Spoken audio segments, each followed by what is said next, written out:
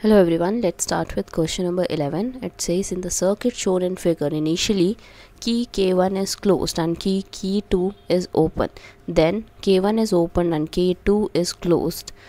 Order is important. Take Q1 dash and Q2 dash as charges on C1 and C2 and V one and V two as voltage respectively तो यहाँ पे हमें कुछ information दी हुई है और उसी इन्फॉर्मेशन के अकॉर्डिंग हमें अपने आंसर्स चेक करने हैं। सो so, ये ऑप्शंस हैं हमारे पास। These are four options out of these there might be condition कि हमारे दो सही हो और उससे भी ज़्यादा हो सकते हैं।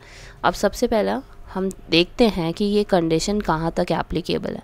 सबसे पहले उन्होंने बोला है कि की के वन क्लोज है। दिस इज़ क्लोज्ड और this is open keeping K two open अब होगा क्या कि इसकी वजह से क्लोज होने की वजह से हमारा सबसे पहले चार्ज कौन होगा? C one C one will get charge in this condition क्योंकि दिस इज़ क्लोज्ड क्लोज का मतलब है कि हमारी इलेक्ट्रिक एनर्जी ट्रांसफ़र हो सकती है। So C one will get charge because of potential E अब उन्होंने बोला है कि के वन ओपन हो जाएगा। अब इसको इरेज कर देते हैं। और उन्होंने बोला के वन ओपन हो जाएगा और के टू क्लोज हो जाएगा। ठीक है? This is open and this is closed अब देखो, ये चार्ज हो रखा है सी वन चार्ज हो रखा है और सी वन वाला अब क्या करेगा? थोड़े से चार्जेस मतलब इक्वल चार्जेस सी टू को दे देगा, क्योंकि हमारा रीडिस्ट्रीब्यूशन हो जाएगा चार्जेस का। वाई बिकॉज़ ये तो ओपन हो रखा है, यहाँ से तो कोई चार्जेस आ नहीं सकते पोटेंशियल की वजह से। यही वाले चार्जेस रीडिस्ट्रीब्यूट हो जाएँगे इस पूरे सर्किट में, क्योंकि ये एक हमारा सर्किट की तरह बिहेव कर रहा है। So now C two will get charge in the second case और किसकी वजह से होगा? Because of C one C one की वजह से चार्ज होगा। E की वजह से चार्ज नहीं हुआ ये तो e की वजह से चार्ज हुआ था, क्योंकि यहाँ से तब क्लोज था। ये वाला सर्किट पूरा क्लोज था। तो इस वजह से ई e की वजह से सी वन चार्ज हो गया। अब सी वन ने सी टू को चार्ज कर दिया सेकेंड केस में। लेट्स से कि हमारे पास, इसके पास सी वन के पास चार्ज थे क्यू वन डैश जैसे उन्होंने बोला था कि क्यू वन डैश लेना। सो क्यू वन डैश ले लिया।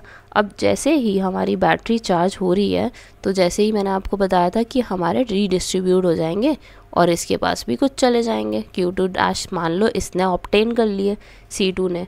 तो according to law of conservation of charges हमें क्या पता है कि total charge after redistribution will be Q is equal to Q one plus Q two dash total charge कितने कंजर्व रहेंगे? इस पूरे के पास? So yes it will be sum of these so fourth option I can see is correct अब first वाले को भी ध्यान से देखना।